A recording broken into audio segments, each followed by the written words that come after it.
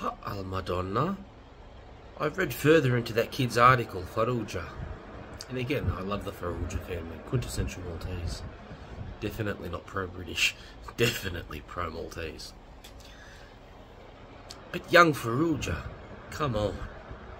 Queen Victoria bringing Malta democracy, education. Uh, what else? Oh, the. They were the world's most notorious culture thieves. That's why in their museum to this day, everything in there isn't theirs. Because they've got no culture. Ha al Madonna. The only thing the British did, the only true thing they did, was use Malta's resources, time, waste its time, uh, install a few phone boxes. That's it. Uh, they, they introduced a few other things, but for the most part, really, historically, we're talking about historical fact here. The Maltese are the ones who taught the British how to live, how to be, how to do. The British were enlightened from Malta. Much of their enlightenment occurred in Malta. It didn't occur anywhere else in Europe. How do you know that? Because they didn't have any other place in Europe. The British visited other places in Europe, but as Europeans were, everything was secretive. They didn't get no, they didn't get anything from the French, from the Spanish, from the Italians. It was oh yeah, this is this and this and this, but there was very very limited sharing, knowledge sharing, trade sharing, anything. Come on, this is we're talking about the early 1800s here and the early 1900s. Do you really think the Latin states or European states were going to give the uh, British their state secrets in science and other things? The British, beside Malta, had India, had the Caribbean, had Fiji, had parts of this, parts of the world here, Australia, obviously. Uh, did they still have South Africa, Canada? They had a lot of places around the world, but none of them were European except Malta. Malta is where the British stationed pretty much their entire fucking army. Uh, a small island, but not so small that it couldn't cater for all their needs. It's a military island. It always has been. It's always been designed in such way to uh, host or house large military forces. Uh, it's been like that since antiquity. It's not a recent machination. It's as in it's recent for the Maltese, like six, seven hundred years which for some countries were 300 or 400 years before they came into existence. Uh, this is something the Maltese have been doing for 2,000 years or more. It's a military island, and there is good argument to suggest that it's an Italian military island. Obviously, that over time evolves and it becomes just uniquely Maltese. But when I say Italian military island, I'm talking about what it was 2,000 years ago.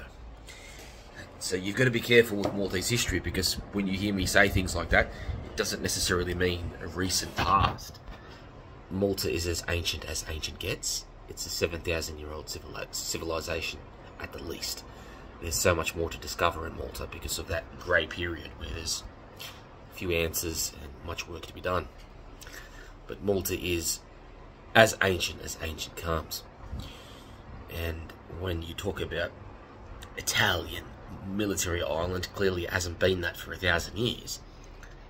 But 2,000 years was only that long ago. And it was a Roman military island, you could suggest. Or a Phoenician military island. It's always been geared to be some type of military island.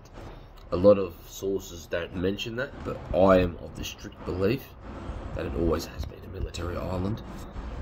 And that it's the name military, militia, comes from the Maltese name militi, it's just a word thing, wordplay. Militi, militia. Yeah, and we know the island traditionally the Maltesers, not not so much in the last hundred years, but over the millennia, uh, the Maltese are vicious. Uh, in war, not in, in peacetime, most loving people in the world. If you know a Maltese person, the most warmest, friendliest, loveliest persons on earth. Very, very honest, very truthful people, very uh, very fair dinkum people, as Australians say. But yeah, the Maltese are very vicious. They're unusually vicious. I don't want to go into how vicious they are. Maltese are vicious, extremely vicious, uh, especially during the war, during warfare. Uh, it's like they go into another human. Uh, anyway, this idea that Britain done anything else but station its fucking clowns on Malta is quite amusing. There is massive reason to believe uh, there is there is so much reason to believe that all they did on Malta was steal culture, as elsewhere, not just Malta. Steal culture, reinvent it, call it British. Ah, British way. Over. Fucking all of a sudden, all these exotic foods were introduced into British cuisine, and they started making, they started printing out British cookbooks. And they were convinced that this was legit because Malta was a British dominion, even though it came from Malta and not Britain. Apparently, they were one and the same, but they clearly weren't. Oh, fucking hilarious cunts. It introduced education let me suggest that the education model on Malta was so much superior to Britain that when the British got there, they shit themselves. The oldest university on Malta currently uh, is almost 500 years old, 1592, the University of Malta. That's just 20 years after the Grand Siege. I don't believe there's many other universities currently running that have a continu- continuity that so I could be wrong. There could be a university in England or something like that that's that old or somewhere else in Europe. But the point is, nothing is. I don't believe any other university on earth is as continuous as that from 1592 onwards, delivering that same reputation, that same uh, way of doing things.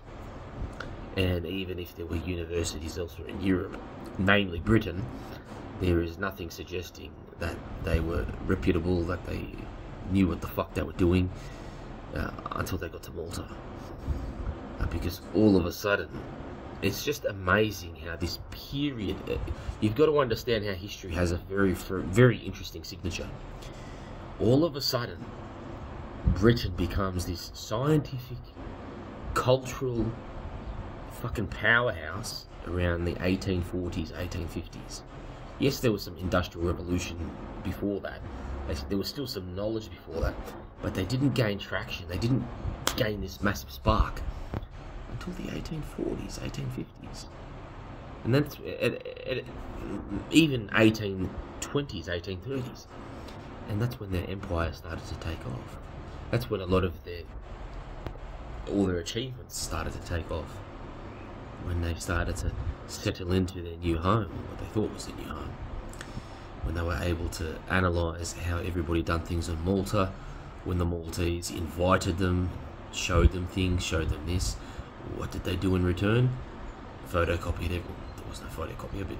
Copied everything, recirculated it, reinvented it, called it British. Oh, British culture! So sorry, young. All the British did in Malta was steal culture, steal education, and steal ideas.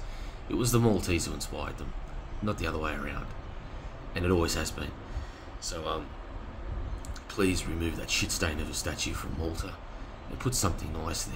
Like, uh, I'm, I'm sick of fucking seeing us Abel as the front center. It's making me fucking sick. We're not.